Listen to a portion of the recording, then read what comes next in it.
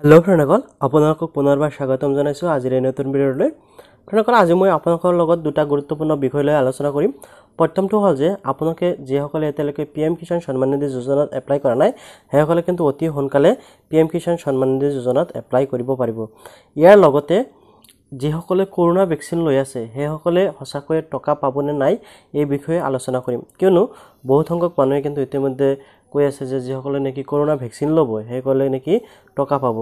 তো এই টকাটো কেনেকৈ পাব আৰু কোনসকলে পাব এই বিষয়টো মই আপোনালোকৰ বাবে ক্লিয়াৰ কৰি দিম। আপোনালোকে জানিলে কথাখিনি ভালকৈ বুজি পাব।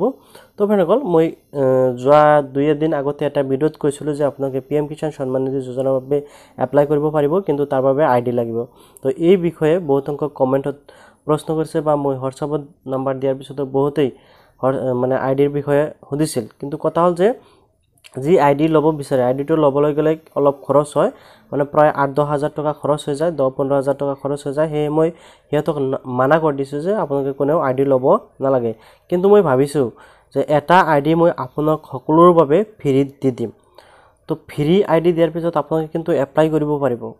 তো যদি আপোনালোকে ফ্ৰী মই আই ডিটো দি দিওঁ সকলোৱে যদি একেলগে কাম কৰিব বিচাৰে তেনেকৈ হয়তো নহ'বও পাৰে। তো মই ফ্ৰী আই ডি এটা দিম।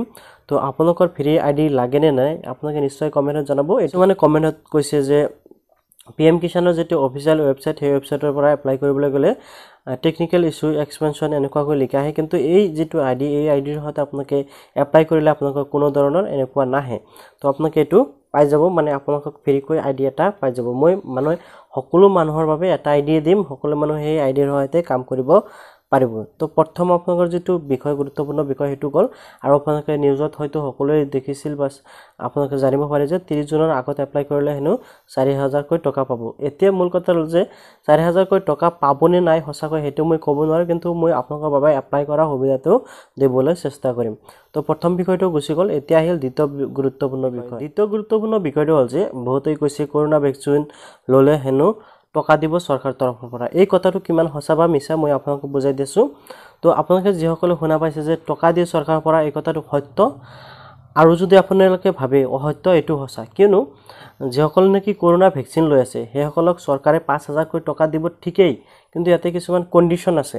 আৰু সেই বিষয়ে মই এটা ভিডিঅ' অলৰেডি বনাই ৰাখিছোঁ। মানে চৰকাৰৰ পৰা এটা প্ৰতিযোগিতা ৰাখিছে। য'ত নেকি আপোনালোকে কৰোণা ভেকচিন লোৱাৰ সময়ত ফটো মাৰিব লাগিব। ফটো মাৰি আপোনালোকে সেই ৱেবছাইটটোত যাই আপোনালোকে কি কৰিব লাগিব?